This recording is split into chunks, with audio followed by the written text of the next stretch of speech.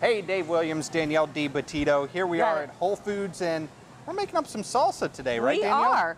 We're going to be making a peach and cucumber salsa in celebration of the sale we have going on tomorrow. Uh, We're today, have- actually, right? Oh yeah, it's today. I'm sorry. Cool. Today we're going to have locally grown organic peaches on sale for $1.88 per pound. Wow. Um, there's a really great story behind these peaches. They actually come through South Carolina Grow Food. Okay. And that's a local hub that sort of gets all of our local produce together and gets it into the market. That's amazing because, I mean, normally this time of the year, it's way too early for peaches, but with the warm weather, we've got peaches ready yeah, to go. And great ones here in South Carolina. oh, yeah. So how, yeah, what, how do we get started to make this salsa? Well, I've gotten a little bit of a head start. I've Okay. sauteed some local Mahi mahi which we have available in our seafood department, and I'm going to make a really great peach salsa to go on top of it. Let's go for it. I just took the peach and I took the fruit off of the side Yep. and I just chopped it up like so. I've got about three in that bowl right there.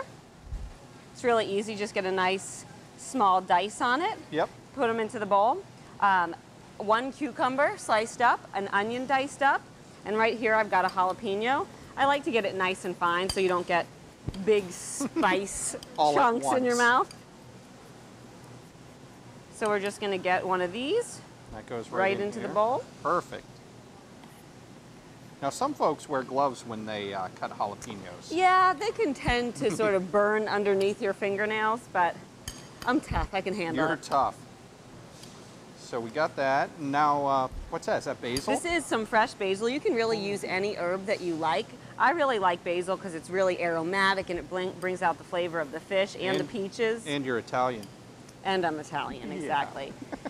and I just get a nice fine cut on this after I've rolled the basil leaves. Ooh, and the smell on that. Boy, that Isn't smells that good. awesome? Yeah. And just get that right in there. Okay. Ooh, look at you helping out. Heck yeah. I like to cook. I do a lot of cooking at home. So this peach sale is actually part of an eight-day sale that we have going on to celebrate our eighth birthday, which is coming up on this Saturday. Eight years in Mount Pleasant, Eight huh? years in Mount Pleasant, yeah. Wow. So this Saturday here in the store, we'll have a bunch of local vendors sampling all of their products. We'll also have a birthday cake that we're going to be sampling out to customers. $8 growlers, local Holy City beer at the growler station. Wow. So lots of really, really exciting stuff here. Now, is this all done? This is all done, yeah. So- So, just go ahead and put it on top. Right over top? You got it.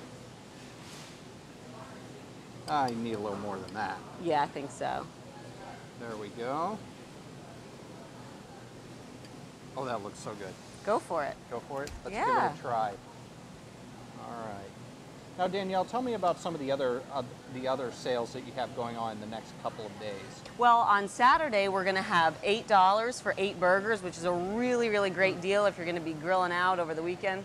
Mm, Friday. Mm, Friday. Yeah, Saturday's the party. Sorry, I'm so excited about the party. I'm jumping I the gun. know. Yeah, mm. Friday, come in. You can get eight burgers for eight dollars, which is a great deal for any of your weekend grilling needs. It's really good, isn't it?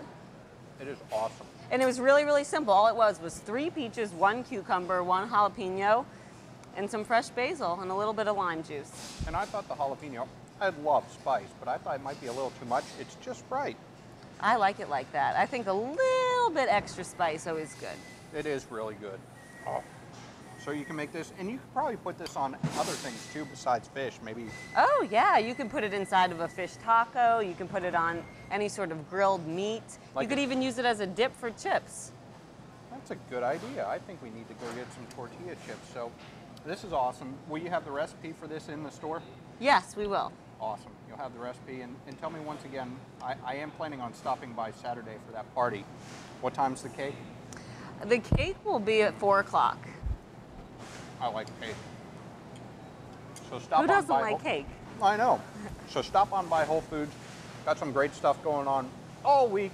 Eighth birthday party right here in Mount Pleasant. Danielle, I can't talk anymore because I'm going to finish eating this. Well, thank you. It is awesome. Way to go. All right, we'll be right back with much more Lowcountry Live.